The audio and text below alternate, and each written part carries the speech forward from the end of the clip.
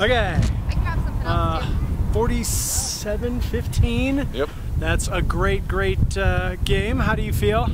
I feel pretty good. We started out flat, 0-0 after one quarter.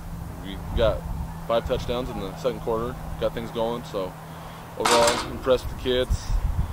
The young kids got a quarter and a half in there at the end, so got everybody in. Kale was a little bit short of two, but we tried to get him his 200 yards, but came up short. But overall, we probably had about three with fumble recoveries, things like that. So. Yep, yep. Defense looked like it did pretty well. Yep.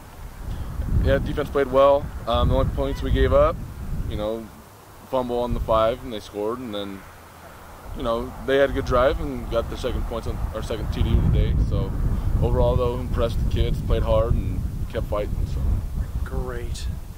Uh, let's see. Like you just stated, you got a chance at a winning season for the first time in four years, I believe. Um, I don't know, I have to check. Since I've been here, it'll be the first time we have an opportunity. So Okay. And Kale's over a thousand yards for the season, is he not? yes, he He was is. at.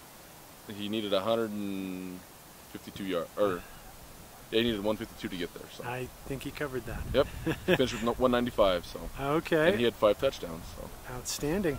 What do you have any idea what the record is for an individual for a season? Up I do here. not. Okay. All right. I'll have to see if I can look into that. okay. Uh, who you play next week? Uh, front range, Front range. and they're coming off a big win. Uh, they played uh, Clear Creek last night and played pretty well. So they like to throw the ball. So we got to get ready coming Monday. Start getting ready for them next Friday. So All senior right. night last last week for seniors. So it's gonna be a big week. All right. Congratulations, coach. Thank you.